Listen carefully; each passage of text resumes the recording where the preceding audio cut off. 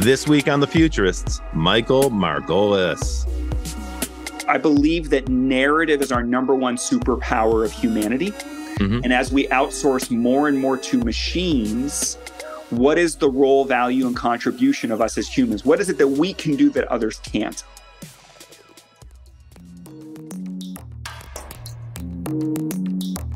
Hey there. Welcome back to The Futurists. I'm Rob Tercek. And joining me this week is the inevitable and inexorable Brian Solis. Brian, hi, hi, hi, hi, and welcome back to the show. It's good to see you, Robert. It's good to see you, Michael. I am so excited for this one. Me too. Uh, yeah, this will be a good show. It's good to be back with you. Uh, I've missed a couple shows that you've been on. Uh, you know how it works here. We uh, we swap off as we're traveling around different hosts in, this, in, the hosting chair. This week, our guest is a close friend, uh, someone I've admired and respected for ages who's an expert in the subject of storytelling, but in a very interesting and constructive way. Welcome to Michael Margolis. Michael, hi. Good, to, good to have you on the hey, Robert. Hi, Brian. So good to see you guys, man. So, Michael is the CEO of a company called Storied, and um, that is a, a transformative narrative company or narrative transformation company. There's all kinds of transformation consultants and digital transformation experts. But, Michael, your expertise is narrative. Tell us a little bit about that. Yeah, well, look, in, in the context of the future, so much of what we're all doing is selling the future. So it's one of the ways you can look at the work that we do, which is, you know, we work with uh, heads of product and heads of design in the world of tech, and they constantly have to sell the future. Uh, what's unique about what where we tend to focus is we focus on the internal narrative right in order to create clarity alignment velocity and whatever people are building and and, and the challenge when you are telling a story about the future, anytime you present the new story, anybody that lives in the old story is likely to feel wrong, bad, judged, hmm. stupid, or defensive. And ah, so the so art and little... science of our work is, is unpacking that. Yeah. So there's a little bit of uh, social engineering that has to occur around that huge. It's basically how do you tell a love story about the future? Um, and so we do this for everybody from uh, Google, Meta, Uber, Shopify, and the like. Have worked across 40 different industries. I started my career as a social entrepreneur, working mm-hmm. on the digital divide, uh, poverty and race, and basically who has access to technology. So I've always been like an armchair technologist, but I'm actually trained as a cultural anthropologist, which is how Brian and I, I think, also are, you know, have, have had a bromance for for a long time as well. Kind of an overlooked part of software development. You know, in, in the technology world, there's a lot of folks um, who build products who assume that the product speaks for itself, and that's just not the case. Uh, someone actually has to construct the narrative around that around that product. Otherwise, people don't know what to do with it. And we see that happen all the time, where products are launched, and it's like, here it is and nothing happens and it sinks without a trace. You know, it's just a ripple in the ocean. Um, how do you help companies do, deal with that? Like, what is your strategy for doing that? Well, like at the practical level, it actually is things like H1, H2 reviews, right? So, like every six months, heads of business units have to go in front of the executive team or in front of the board and present their vision and their strategy for the future. What what we did the last six months, what we're doing going forward. So we'll build the narrative that's the upfront mm-hmm. that then goes into here's what we're doing on the roadmap and the features, here's the data, and so on. So it's it's contextualizing, helping people see the bigger picture.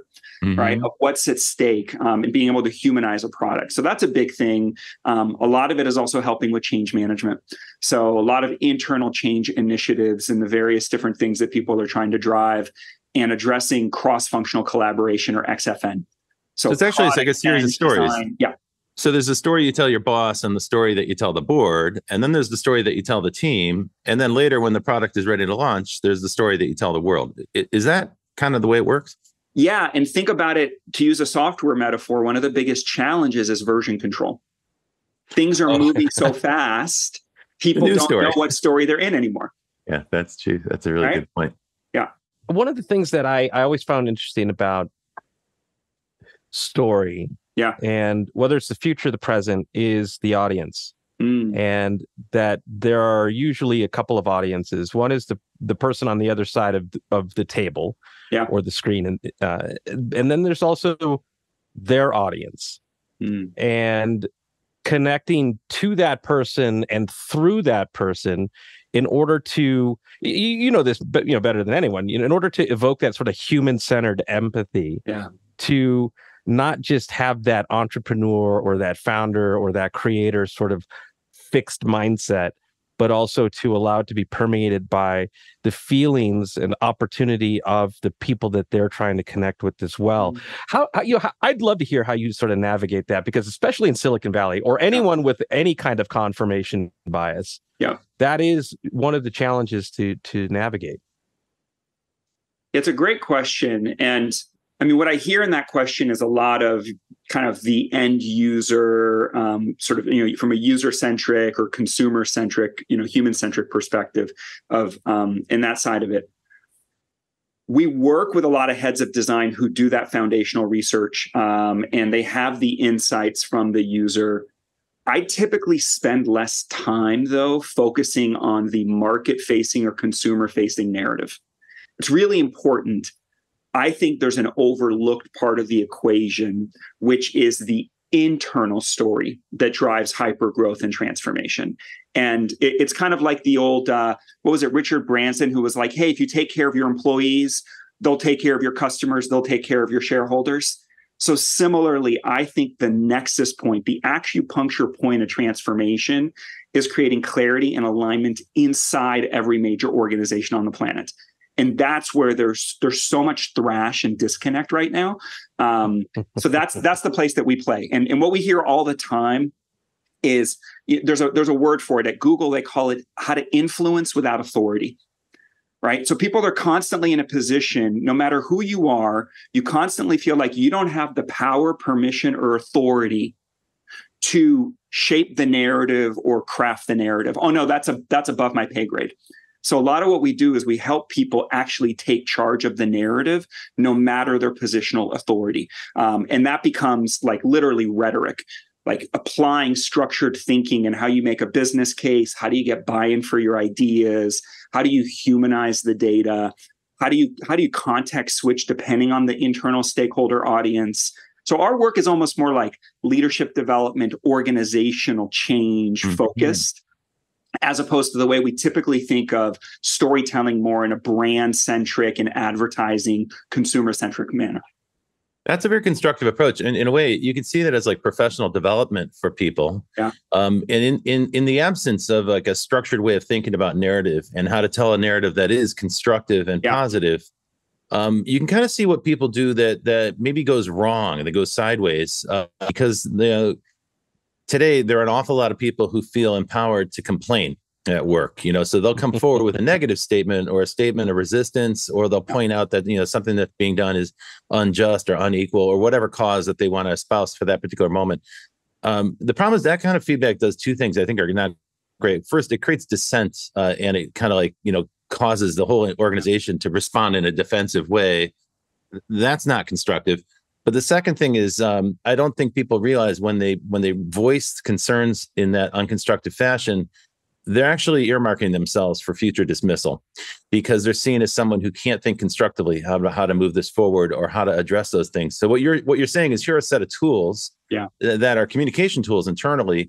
Um, you're using the term story or the term narrative to describe them, but what you're really saying is here's a better way to communicate constructively to build team uh, consensus and, and shared understanding and a clear vision of where we're going.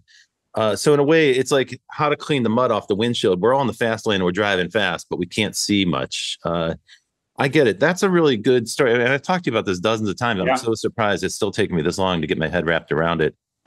it's it's coming at things sideways. But to your point, um, here's here's an interesting lens to look at this from. Um, most organizations today are suffering from an autoimmune disorder. Hmm. Let me explain that.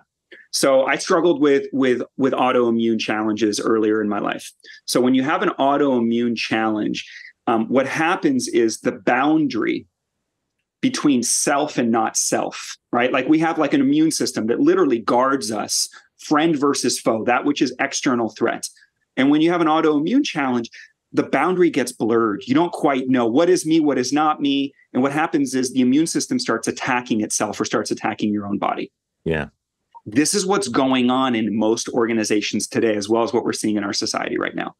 we're dealing with an autoimmune disorder. And from a hmm and you can look at it it's fascinating you can look at it from the perspective of like your brain on story and from an anthropological perspective so let, us talk about that for a moment because this will this was a big aha for me which is when people experience a story there are three biochemical hormones that are activated cortisol dopamine and oxytocin Right. And these may be familiar to some of us because we've been talking about these and how these play out in social media and how these play out in a lot of different contexts.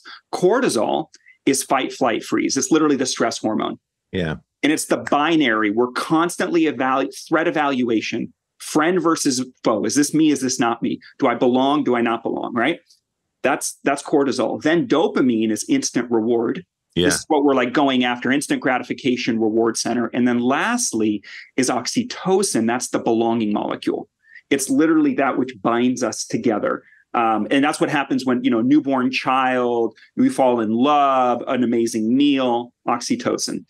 So the thing is, most of the most of the stories that we consume in our social media feeds, in our email inbox, like all of our inputs, have us in a perpetual state of cortisol, cortisol, cortisol, and we're chasing the dragon of dopamine. Mm. Right. So the cortisol dopamine drip, it's like the one-armed bandit from Las Vegas. But ultimately, what we're all desperately wanting is more oxytocin, where we discover the invisible lines of connection, how we are more similar than different. Okay. So this plays out. This is literally when we build the architecture of a narrative, we're playing with those dials. We're reducing cortisol, we're increasing dopamine, and we're really figuring out how to unlock oxytocin because we're in an environment right now that is so polarizing.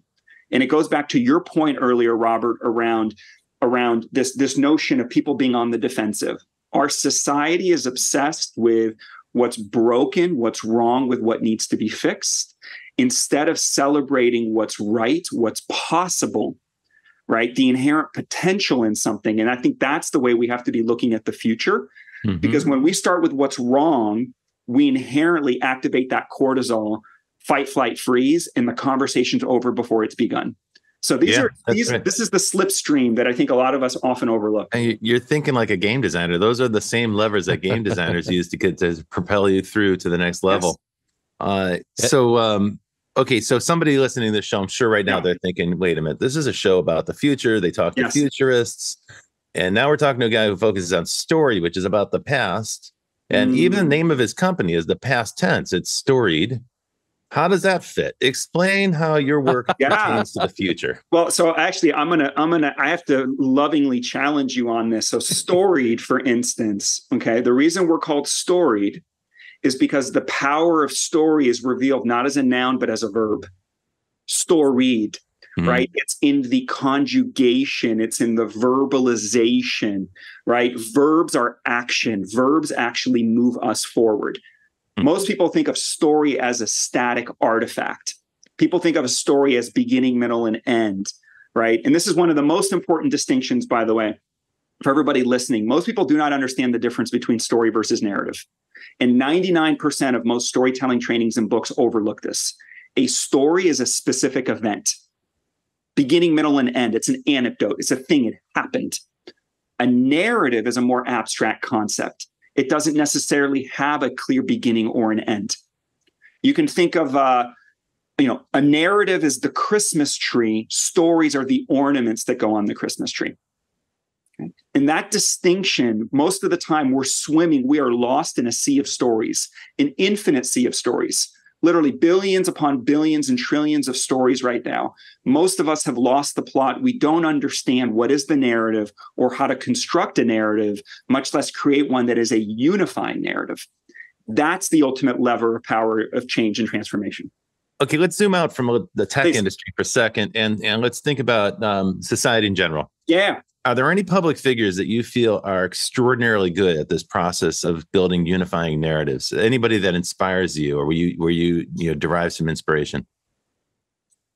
Um there are definitely folks out there. I'm i'm a little bit biased. I tend not to look externally for sources of inspiration in all areas of my life. But um, to this point, I think someone who came close to it for a good period of time was Obama as a campaigner mm-hmm. not mm-hmm. Obama as you know as a governor. right? Um, but but on the campaign, he did it effectively. Um, and then when he actually got into office, he thought, you know what, we're going to let the facts speak for themselves. We're going to let the work speak for itself, right? And we actually saw the cost and the in the impact of that because he lost control of the narrative. Mhm. Uh, so I think that's a really important one.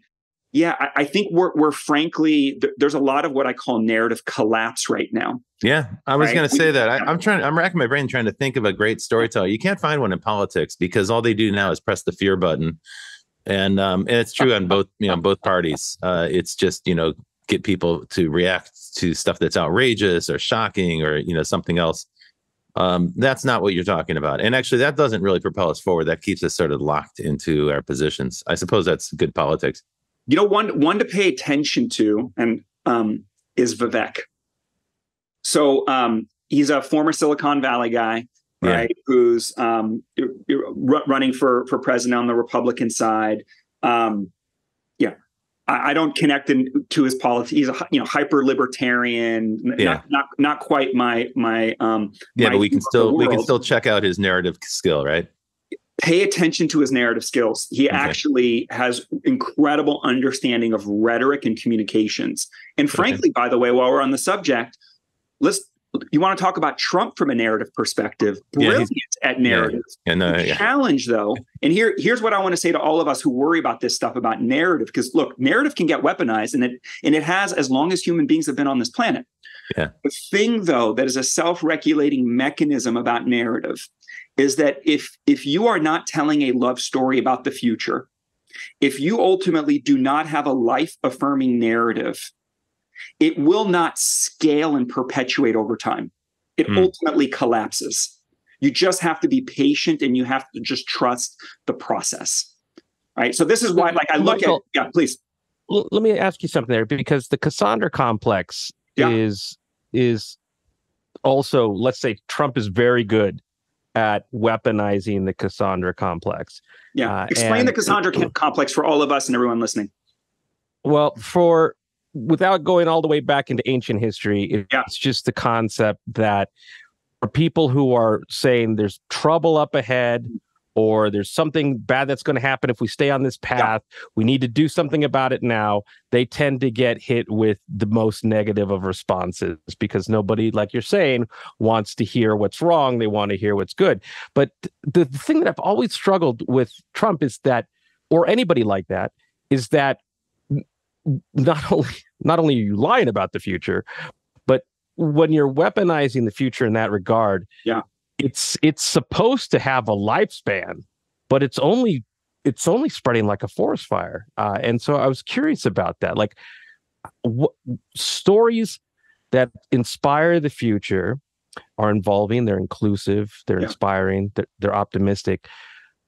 What what where's the balance here? Yeah well, there, there's a, um, so at a foundational level, before we get to a, a, narrative that is a life affirming and generative narrative, there's a more basic fundamental human need eh, from a narrative perspective. And that is simply, I need a story that explains how the world works. Mhm. That's it. How does the world work? And, and anthropologically, that's how stories like that was their function, right? We had elders who told us the stories. Here's how the world works. This is your place in the world. Don't eat the purple berries. This is how we hunt the buffalo. and you knew your place. Right. And so that is where some of these, you know, any big narrative from a position of authority can fill that need. So if someone is feeling disconnected and, and is feeling, um, you know, displaced or is, is looking for, wait, the world doesn't make sense like it used to, right? We're open. We're looking for a narrative to basically fill that void. And I think that's the appeal that you'll find from from many different political movements, um, whether they're life affirming or coercive. Yeah. So, okay, with politics, you know, there's the battle right now is between people who want to preserve the status quo and people who want to demolish the status quo. So that's neither of those is a very constructive vision of the future. And we tend to look to the tech industry to give us that kind of uh, beacon of light for the future. And around the, in the tech industry, they're they've been extraordinarily successful in constructing a narrative of invincibility or, or Mhm. inevitability, right? So the idea is that there, the future in the in the tech world is is coming fast. It's always bright. It's going to be incredible, transformative. It's going to confer superpowers on us and so on.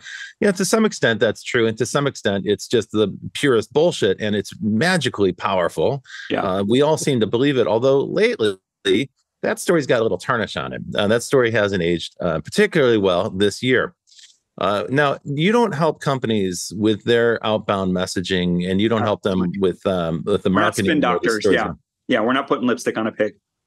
Can you comment on that though? Can you talk a little bit about Yeah. the fall from grace of the big tech companies? Maybe it's that classic hero story, you know, where we build something up and then it's fun to watch it crash and burn. Well, yeah, I think that's more commentary on, frankly, journalism and modern mass media, Yeah. right? Like, uh, uh, there's a few ways to look at this. Let, let, let me let me put it to you uh, this way. So, first of all, um, 99% of most mm, stories that we tell are morality tale. Right? We're focused on who's right, who's wrong, what's good, what's bad. Okay. And and this again, this worked great when we were like small tribes, where we were, you know, monotheistic religions, when we were a, a closed system. But you see, we're in an environment now where worldviews and value systems are colliding. And so, one of the biggest evolutionary shifts that I'm seeing right now is we are looking for a new narrative framework beyond morality tale. But it takes rewiring because we're so we're so obsessed with labeling right, wrong, good, bad. Okay, so this is what the media does. This is frankly what we all do. It's what we do Yeah. on social media and so on. So that's one, and we can unpack that a little bit more if you want. Um, the the other piece of this, though, to your your question, like what's the commentary about the tech industry and sort of the hype cycle?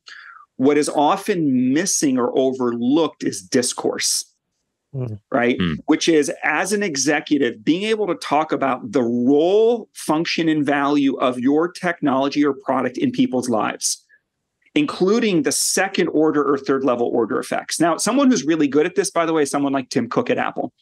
Right, he has a very sartorial perspective of zooming out. Um, Satya actually does this pretty well over at Microsoft as well.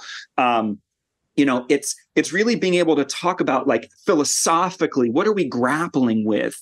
And hmm. thinking about the the role of this technology and how do we as a society interact with it and adapt to it that's what the tech industry needs to be doing more of um, and some executives are really naturally good at it and sometimes people just are so obsessed with the function of the tool they think that it's just function function function instead of aspiration and emotion in the cultural social context Yeah, that's how people come away with the impression that the tech industry is amoral uh, or indifferent to the consequences. Uh, and sometimes there are big social consequences of new technologies. Yeah. Brian, you go. There's oh gosh, I want to pick that one up, and maybe we can do that Yeah. after the break. Yeah, Michael, to your point, there's another there's another type of leader that I would love to see more of in Silicon Valley.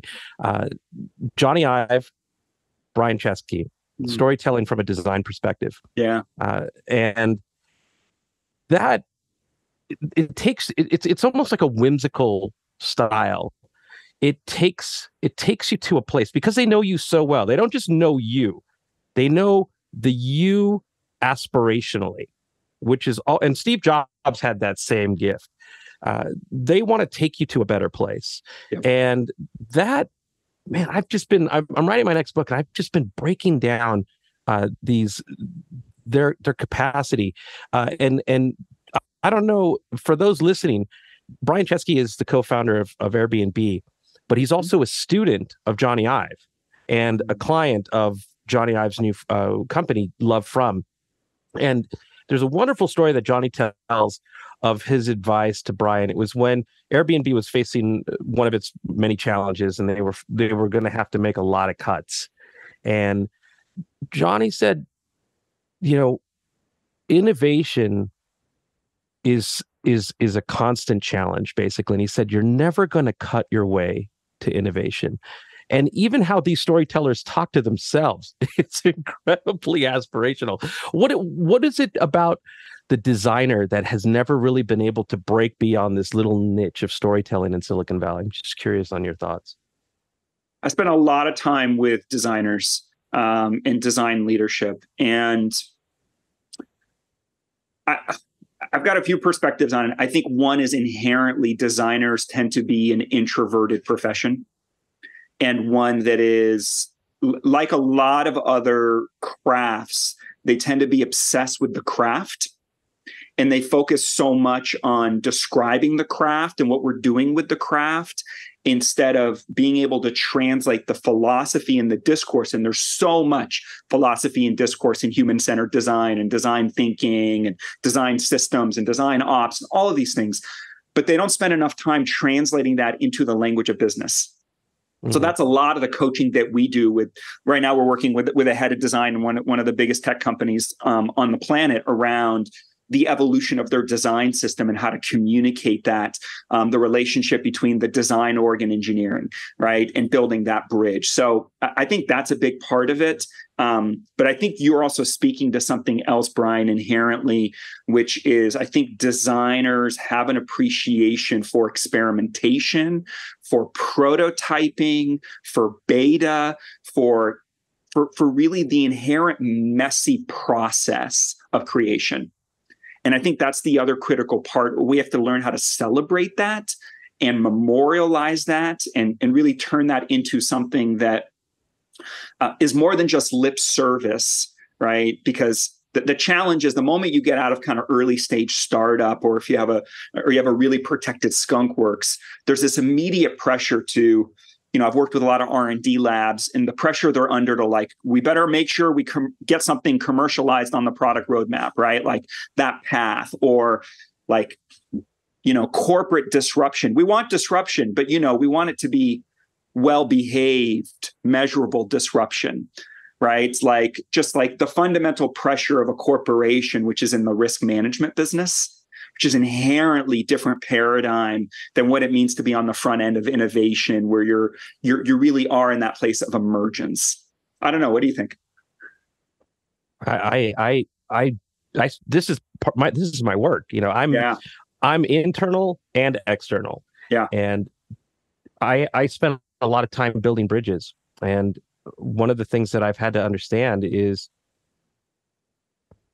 even though I'm not designing products, I am designing a version of the future or yeah. versions of a potential future that has to be inviting, inclusive, uh, maybe less scary, but also the thing that that I've I've I've struggled with is the uh, what's in it for me, and that's I've always I've always admired Steve Jobs' ability where he he tells you that you're going to be better in his version of the future. Uh, and that part uh, is is the magic. It's the magic uh, because, as you said earlier, you know, change and, and Robert said this too. The status quo, you know, no one really inherently wants to believe that what they do and what they believe is not necessarily the right thing for tomorrow. But together, if we follow this vision, this aspirational vision, and we all net these things, yeah. we're in a better place. And this is what the road looks like to get there. But I'll be there along with you the each step of the way.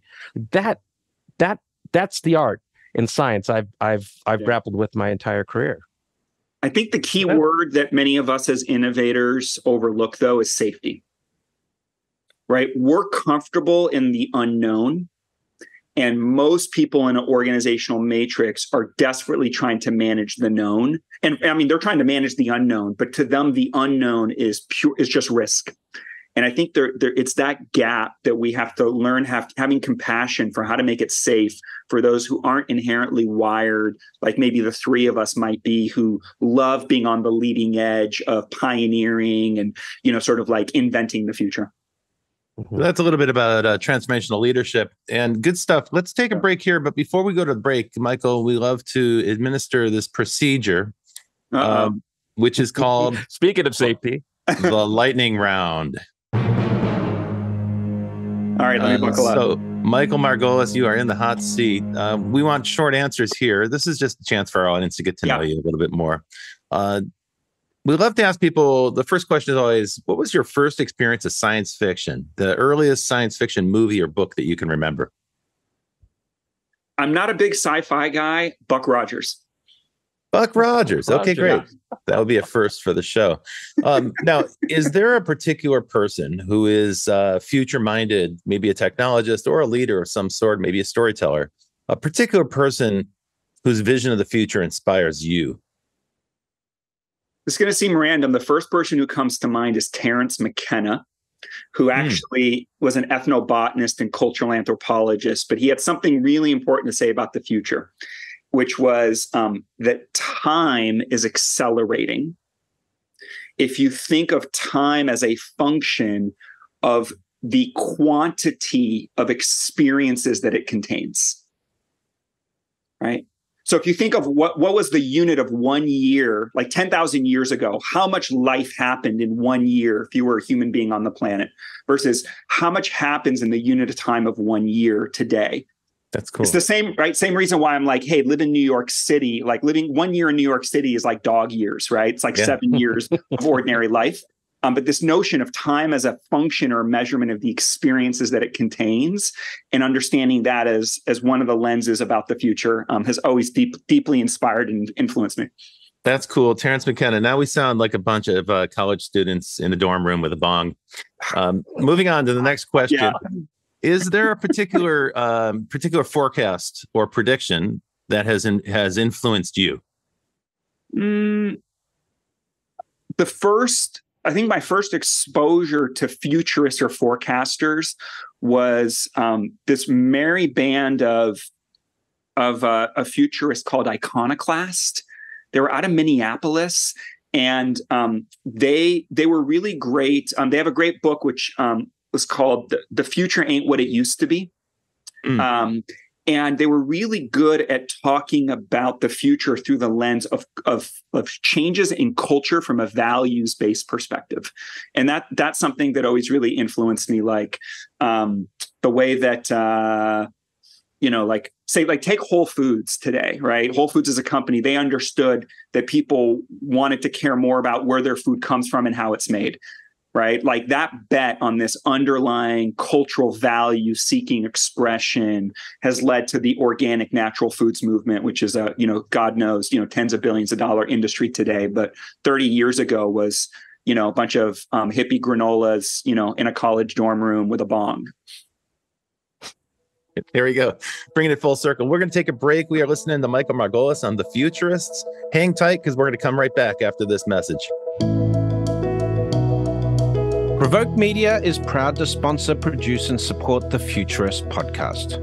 Provoke.fm is a global podcast network and content creation company with the world's leading fintech podcast and radio show, Breaking Banks. And of course, its spin off podcast, Breaking Banks Europe, Breaking Banks Asia Pacific, and the FinTech 5. But we also produce the official Finovate podcast, Tech on Reg, Emerge Everywhere, the podcast of the Financial Health Network, and Next Gen Banker. For information about all our podcasts, go to provoke.fm or check out Breaking Banks, the world's number one fintech podcast and radio show.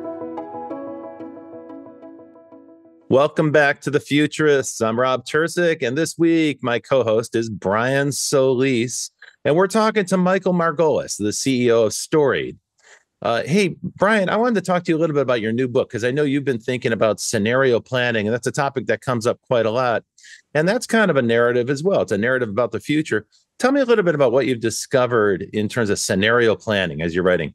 the the book is about how you spark a mind shift in someone in the best possible way rather than being held back by everyone we find a way to inspire everyone forward and we learn unlearn and grow together and the idea of that is painting versions of the future that are compelling and motivating uh, and understanding the, art of doing so so i combine it with this practice that I learned as an analyst, which is the whim exercise or what it means exercise. So you take any trend uh, you you that's that's important to your business or to your world, the series of trends, and you try to understand at an individual level what each means to your world on a horizontal level, immediate, longer term, you know, maybe 10 years out.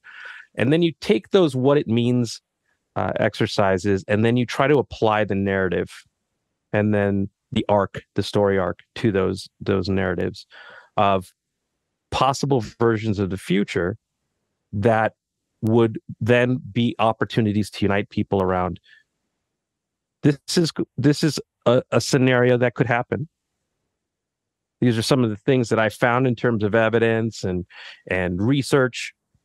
And let's be collaborative about one way to solve for that. And you create a scenario planning exercise that people feel included in rather than you telling them what to do in mm-hmm. this particular scenario.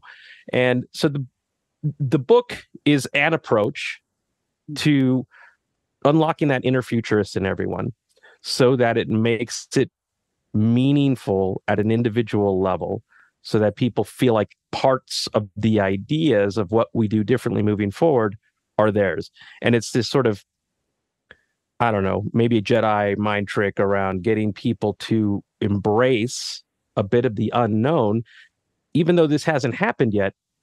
The conversation itself is starting to make it a little bit more known. So yeah. that's that's how i'm thinking about it. Yeah that's necessary. I mean look if you're trying to get a team to focus on building something that doesn't exist you've got to get them to live vividly in the in a scenario in the future. And um and what we've seen on the show because the topic comes up quite a lot with futurists uh, scenario planning is a you know quite popular technique. It's a useful technique uh, Thomas Frey in the in the interview we did with him, he demonstrated it live. And it was really great. He showed us how to interrogate possible futures. So you posit something, you know, in the future we're going to play golf on Mars. Cool. And then you start asking questions: How do we get there? What does a club look like? What kind of uh, tool? What kind of equipment do we use? How far does the ball go? And you you, you cause people to think kind of athletically about that scenario. And in the process, they're going to uncover some pros and cons some unknown opportunities and some new obstacles and so forth all things that can be solved for or addressed uh, that's that's one technique. Um, we also had Julian Bleecker on uh, on the show, and he talked about narrative fiction, yep. um, which Michael, I forgot to mention this to you earlier. Such a good show because he's a designer. Yeah, so, he's, a, uh, he's a special human.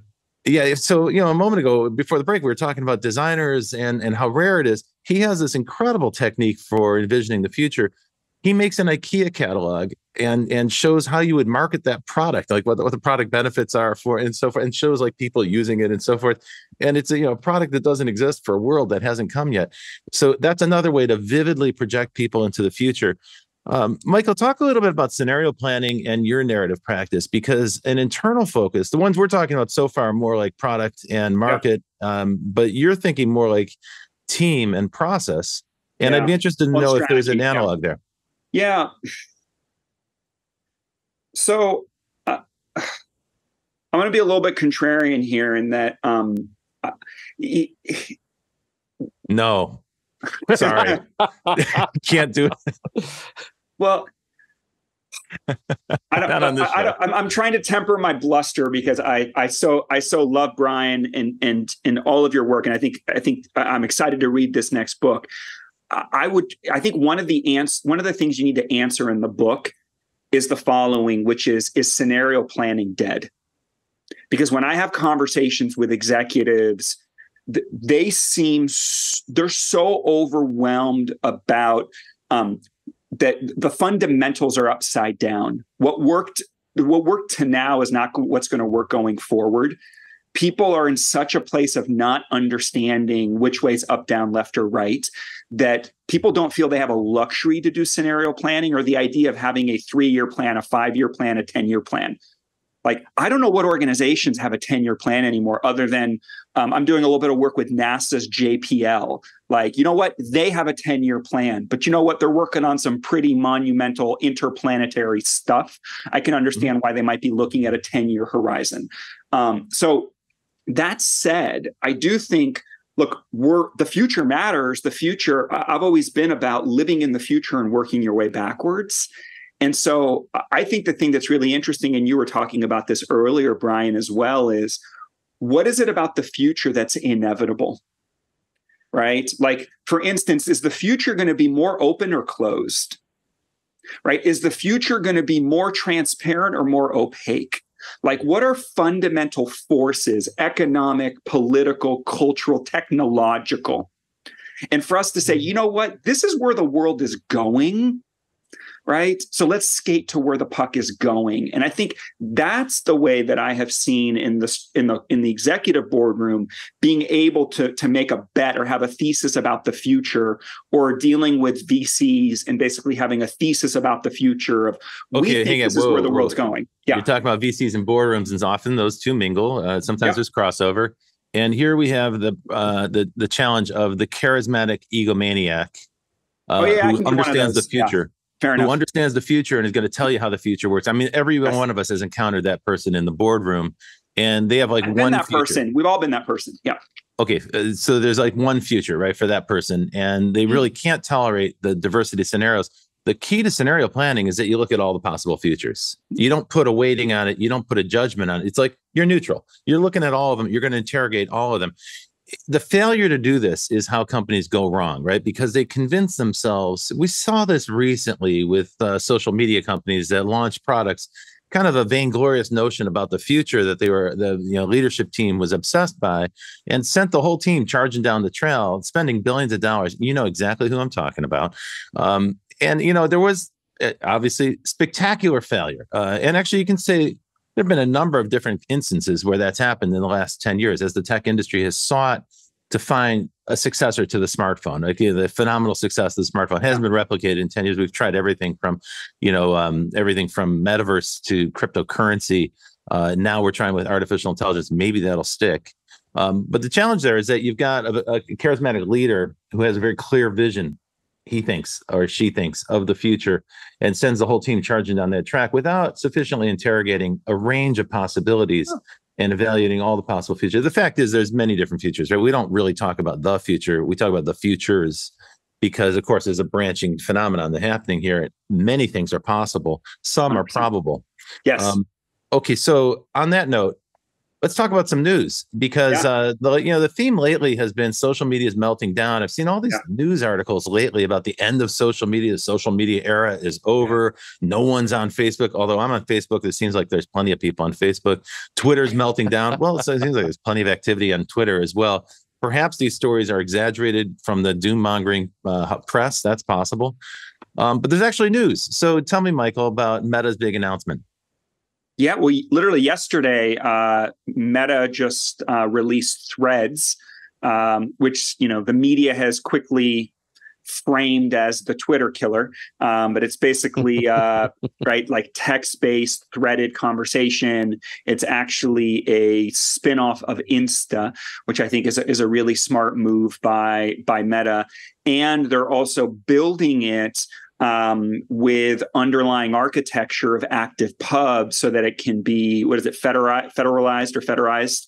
So it will ultimately be able to be interop with mastodon and some of the other um, mm-hmm. type of like you know global town square places. Um, here's i think the thing um, and by the way within less than 24 hours 10 million new accounts right opened up on threads. So you know people love to talk about meta is dead look there's there are plenty i know most people's relationship with facebook is it's complicated and i get it right? Um it, it, there, it's there, there are many aspects to this. Um i do have a privileged relationship with that company being being an advisor to them since 2016 um but the reason why i've always really been fascinated and appreciated our partnership is it's the biggest storytelling platform in the history of the universe right? There's nothing else on the planet that re- that is a, a, greater reflection of collective consciousness or that engages and reaches more people. You got three billion plus monthly active users.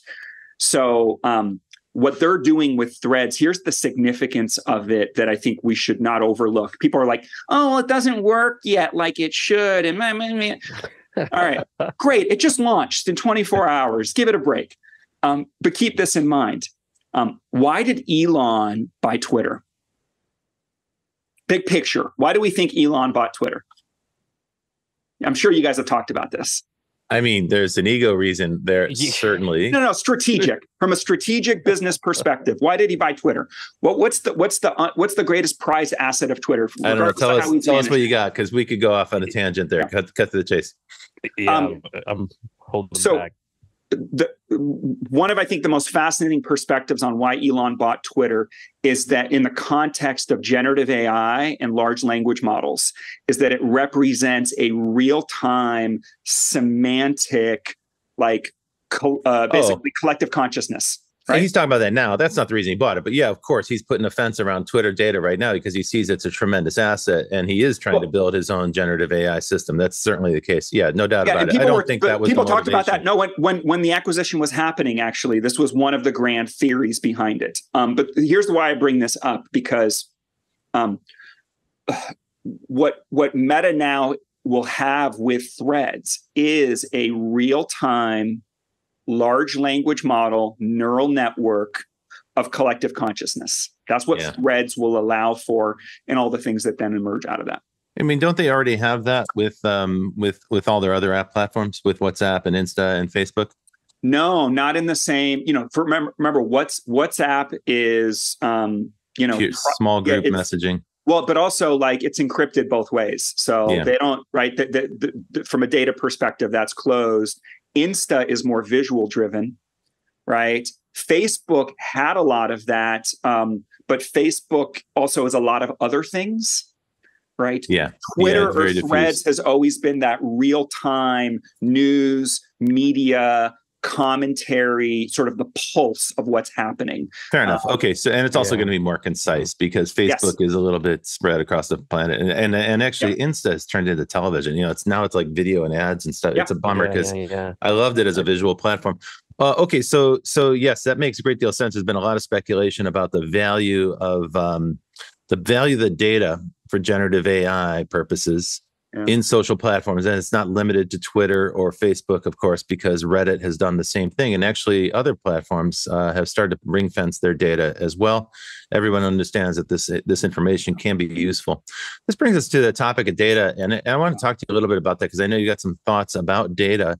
Um, you know, my sense is often um, the people who focus on data uh, it, it's we live in an interesting time because you can you can stop a conversation. It's literally like a thought terminating comment to say like I've looked at the data and the data suggests this, and it's like okay, end of discussion, right? No more debate because we've looked at the data, or someone says they have.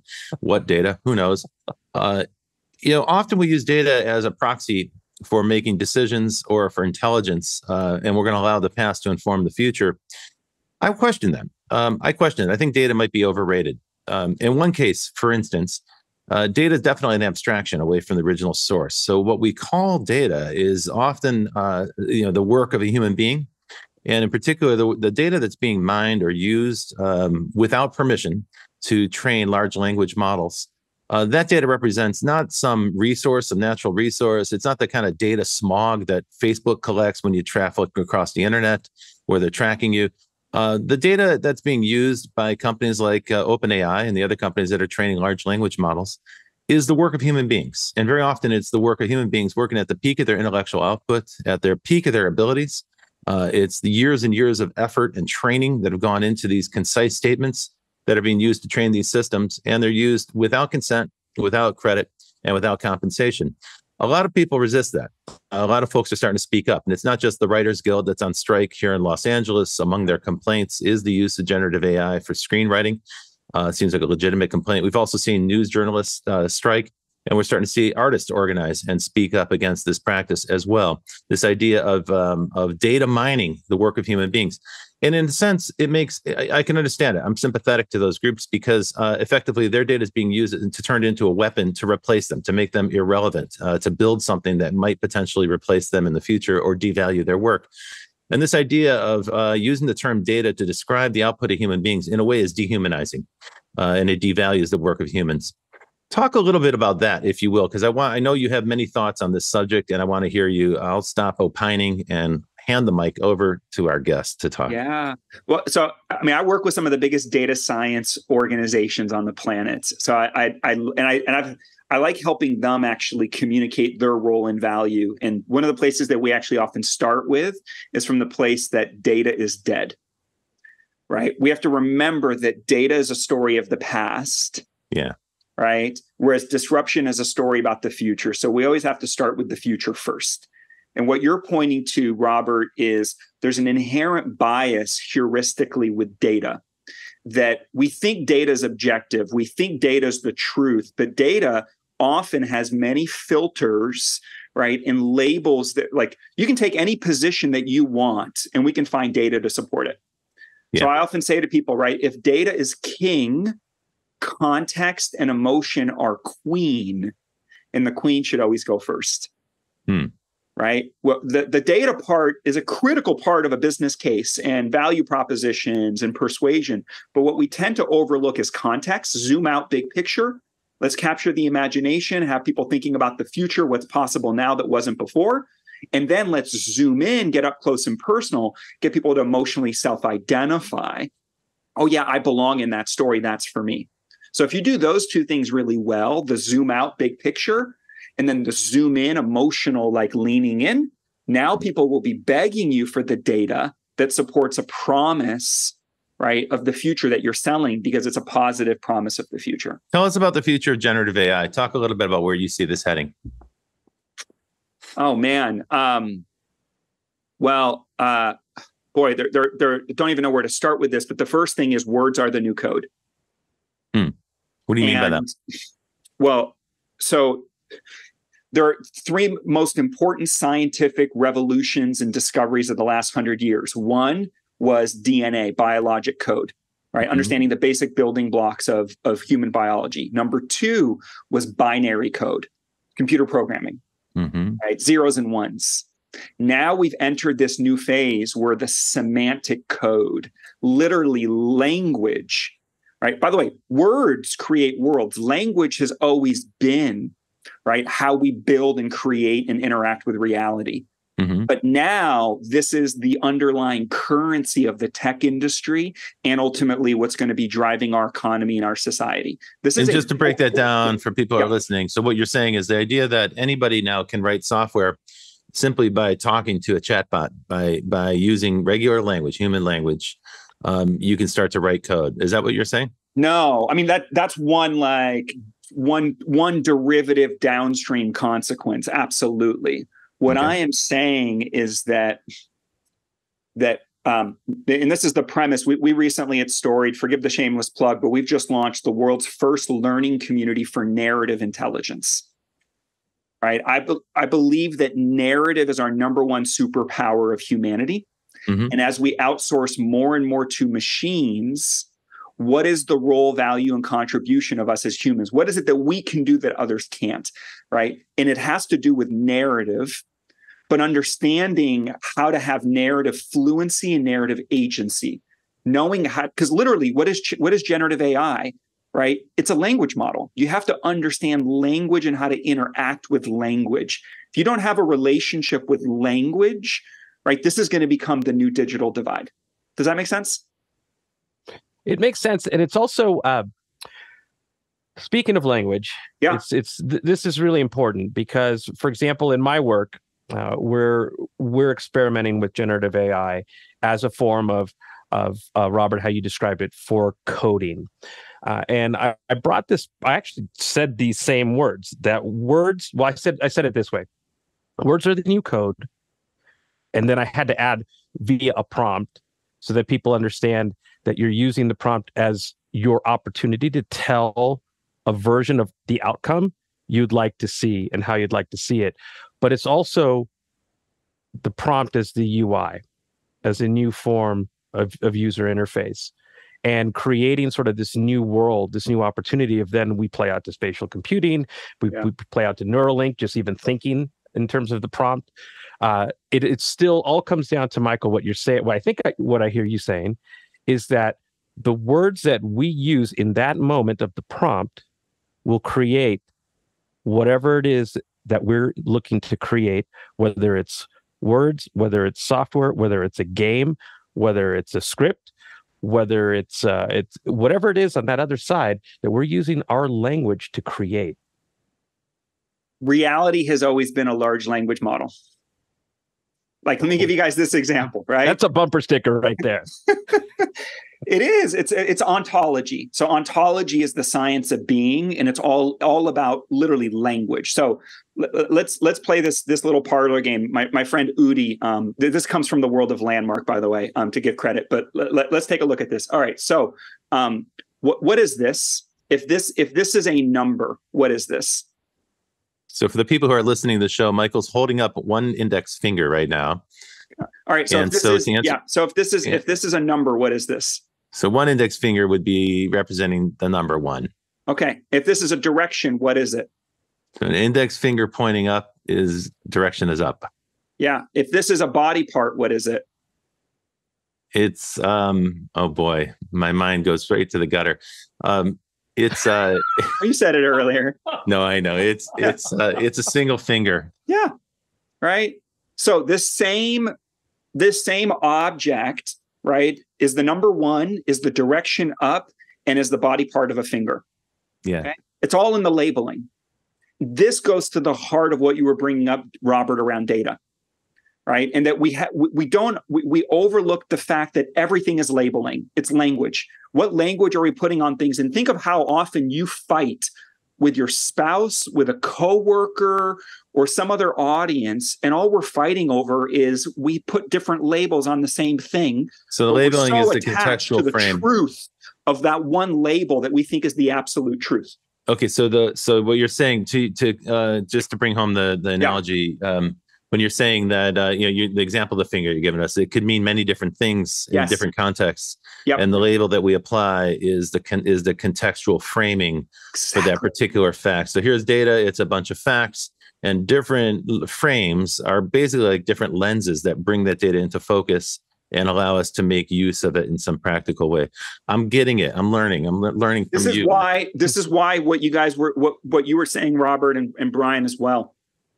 Context is everything. Yeah. Context is how you frame the future right it's it's all about zooming out we've lost the plot people need to see the bigger picture it's context give right? us the and future then, give us a vision of the future tell us what's going to yeah. happen in 10 years 20 years 25 yeah. years what's going to happen yeah. are we going to continue fighting are people yeah going to get along in the future. And, th- and, then, and then to your point, Brian, then show us that you give a shit, that you care, like, um, like empathy, emotion. Bring it back home to me in some visceral, emotional way. You do those two things, context and emotion. Great. Now I want the evidence, the data that validates the premise that that we're looking at. Um, this is actually Aristotle's three proofs of rhetoric: ethos, okay. pathos, and logos. Okay, but we we're our job here is to talk about the future, not Aristotle. So show me where this is heading. Tell me seriously. I want to forecast. Yes. Give me ten years, twenty years out in the future. Uh, right now, we're in a time of we're riven with yes. conflicts, and people are riddled with doubt, fear, uncertainty. I haven't seen a time of of less optimism in my entire life, and I don't really understand it because uh, by most metrics, things are getting better. Yeah, Brian? and and and just to build on that, you've you've said it a few times and I love it. We've lost the plot. Yes. So maybe putting in the context, how do we get back? How do we get how do we get back to the plot for the future that you see? I'm gonna I'm gonna give you guys a rhetorical question. You mean you're gonna dodge the question? But go. For it. No, no, it. I'm not. no, no, no, no. This is actually this this is the the you asked for my prediction, and I'm going to unpack this um, happily. All right, here's the question: um, do leaders have to have faith in the future? faith is faith, faith or uh-huh. conviction. Uh-huh. I no, think no, they have to have no, conviction. very specific. Faith in the future. Do leaders have to have faith in the future? So, so this this is an interesting question because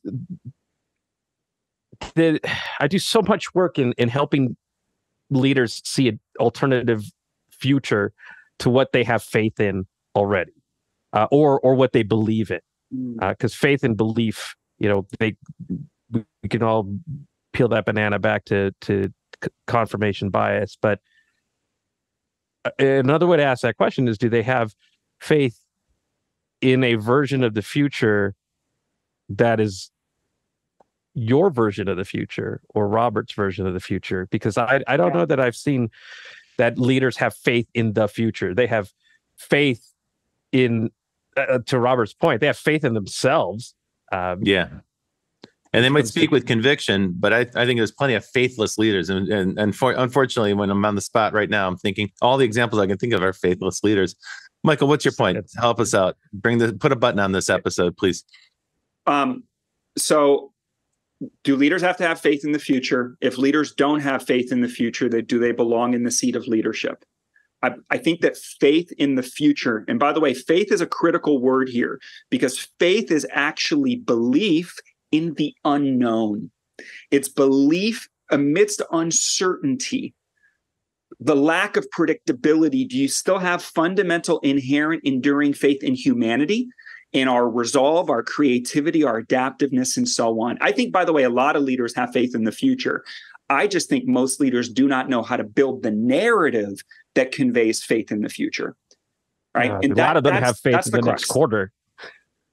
yeah, but but faith in the future is it, it's that's at the end of the day, that's the fundamental human need, right? We're looking for a story that makes sense of the world, our place in it, and what comes next. So you have to fill that vacuum.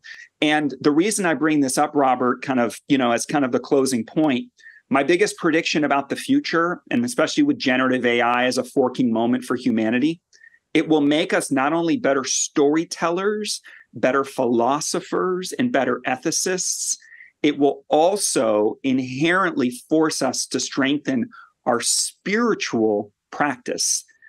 Because um, in the face of existential crisis, it's amazing how we as human beings find God or whatever version of that you want to name or put a label on. Faith in the future. Wow. Okay. Taking us all the way to spiritual conviction. I'm with you. Michael Margolis, uh, CEO, storied uh, expert in narrative transformation. Thank you for joining us on the Futurist this week. Me, Where can we find you on the web? If people are listening, they'll be interested to learn more and learn about your courses in yeah. narrative uh, narrative comprehension. Yeah, yeah. So uh, storiedinc.com. Uh, we've just launched the world's first learning community for narrative intelligence. We have courses, coaching, um, we have a new flagship program called Narrative Influence, a five week sprint method. You'll find that at storiedinc.com. And then you can also get my latest book, Story 10X Turn the Impossible into the Inevitable. You'll find that on Amazon, Kindle, uh, Audible, and all that good jazz. And then Super lastly, for social, find me on LinkedIn, is where I share the most. Okay, Michael. that's great. Michael, thank you for joining us on the show. Thank Brian Solis, always a great pleasure to see you again, my friend. So thanks for coming. And a big always shout out to the folks at Provoke Media who make the show possible. Thank you very much, Kevin, Lisbeth, and the rest of the crew at Provoke. If you're listening to the show and you find this useful and constructive and interesting and inspiring, and I sure hope you do, please share it with a friend. Uh, the best thing you can do to help us grow the show is to give us a five star review on this on the podcast platform of your choice. That helps drive discovery and that enables other people that you don't know to find the show. Things have been going great. So we are very grateful to our friends and supporters who've been listening to the show. Uh, thank you very kindly for your support. The show is growing nicely. We're thrilled. And we'll be back next week with another, another futurist, and Brett King will be joining us again. Thanks, thanks everybody, and we will see you in the future. Well, that's it for the Futurists this week. If you like the show, we sure hope you did please subscribe and share it with the people in your community. And don't forget to leave us a five star review. That really helps other people find the show. And you can ping us anytime on Instagram and Twitter at, at Futurist Podcast for the folks that you'd like to see on the show or the questions that you'd like us to ask. Thanks for joining. And as always, we'll see you in the future.